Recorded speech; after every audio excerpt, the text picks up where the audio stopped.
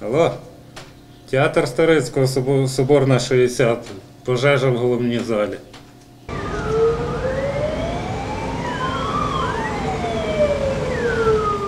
Тривога навчальна, а ось рятувальники справжні. На місце виклику прибули за лічені хвилини. У таких випадках працювати пожежникам потрібно просто блискавично, аби не лише загасити полум'я, а й врятувати заручників вогню.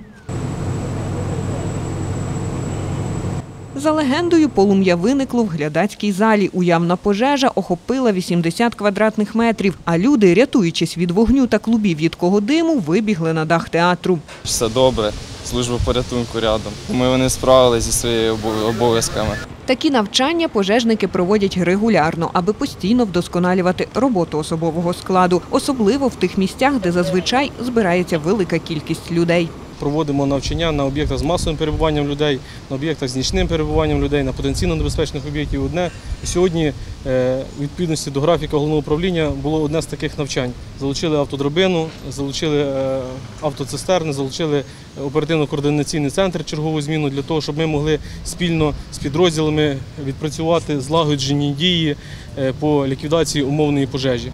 Рятувальники розповідають, якщо добре знати будівлю, то й з ліквідацією вогню вдасться впоратись значно швидше. А тому такі навчання особливо важливі для новачків. Чисельність працівників якби постійно змінюється, появляються е, нові працівники, яким треба показувати об'єкти, яким треба розказувати, де найближчі джерела протипожежного водопостачання, яка пожежна навантага того чи іншого об'єкта.